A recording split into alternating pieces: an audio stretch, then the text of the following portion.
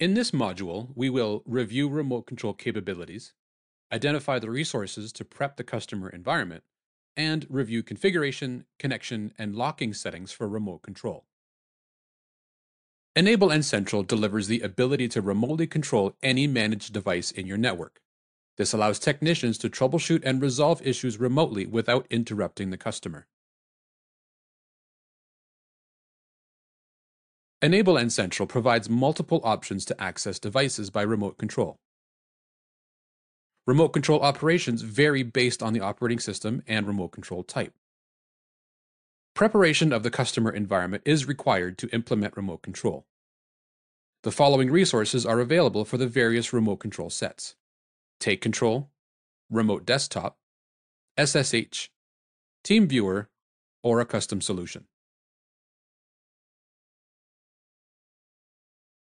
Remote control connections depend on the OS for client and target devices. The following table outlines the OS and compatibility with various remote control types. Any Windows or Mac OS device under active management can be controlled by an agent or probe remotely. Probes are required to be in the same domain as the device that you want to remotely control. The target device needs an agent installed. Before remotely connecting to a device, that device must be configured for a remote connection.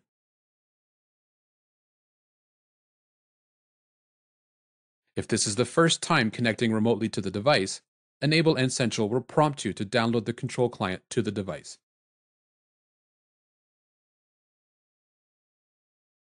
The Lock Remote Control setting prevents changes to how technicians connect to devices remotely. It is important to remember, locking a remote control setting is hierarchical. A high-level locked account cannot be unlocked by a lower-level account.